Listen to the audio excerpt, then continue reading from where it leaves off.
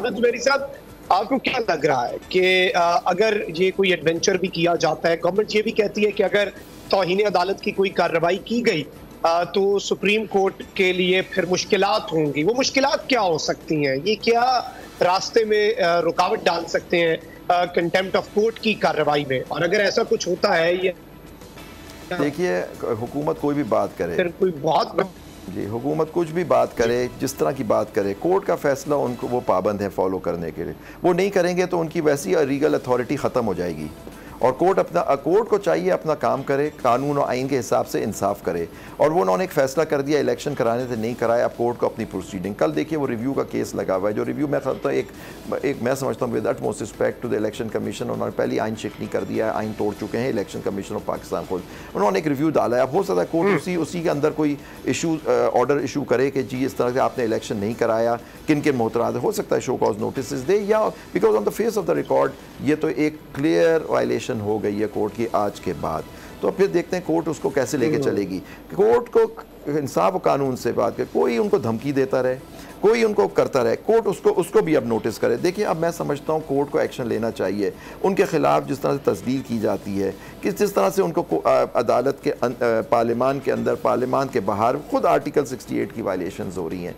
जो इस पर पार्लियामेंट खुद पाबंद है कहते हैं हम आइन के लिए आइन की बात करते हैं। तो आइन में आर्टिकल अड़सठ भी है कि आप जज के कंडक्ट को डिस्कस ही नहीं कर सकते पार्लियामान के अंदर, लेकिन आप करते हैं। आप उनको थ्रेट करते हैं कि जी हम आपको बुलाएँगे कंटेंट में बुलाएँगे, ये करेंगे, इस तरह की बातें सुनने को मिलती हैं जो आज तक हमने नहीं सुनी आज तक।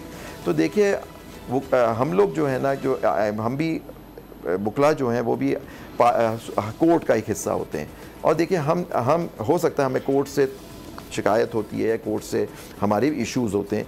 लेकिन एक बात पे हम सही है कि हम उस पार्ट हम इंस्टीट्यूशन के साथ हैं। इंस्टीट्यूशन जो है सुप्रीम कोर्ट का, वो उसकी अगर आपने इज़्ज़त नहीं कही, उसकी बात की नई तोक़ी नहीं दी गई तो फिर उससे सारा सिस्टम आपका कोलैप्स होगा। एनर्की चली जाएगी। अगर आपने अदालतों के फैसले मानने छोड़ दिए तो बड़ी सुप्रीम कोर्ट के साथ कर रहे हैं तो कौन फिर हाई कोर्ट और डिस्ट्रिक्ट कोर्ट की की कोर्ट फैसला मानेगा? मैं और आप क्यों मानेंगे फिर कोर्ट का फैसला? तो फिर एक फिर एक तरह से इंतशार आ जाएगा। तो आइन, आइनी हुकूमत तो ख़त्म हो गई, क्योंकि देखिए, जब आपने कोर्ट की बात मानना छोड़ दी तो आपने आइन को वायलेट कर दिया। आइनी हुकूमत, आपका जवाज़ आइन, हुकूमत में रहने का ख़त्म हो जाता है, मैं समझता हूँ। तो इनको सोचना चाहिए कि देखिए, आप, हो सकता है आप फैसलों से नाखुश हों, आप उनसे तो एक लीगल तरीके से आप लड़ें। और फिर अगर आप समझते हैं कि कोर्ट सही फैसला नहीं करता तो फिर आप लेकिन आप आप नाखुश ज़रूर हों लेकिन पाबंद हैं आप। अगर आप नहीं करेंगे तो फिर इसके बहुत सीरियस कॉन्सिक्वेंसेज होते हैं। Exactly exactly. बड़ा इंपॉर्टेंट पॉइंट रेज किया है और आपने बड़ी अहम बात की है। आबिद जुबैरी साहब thank you very much for your time Abid.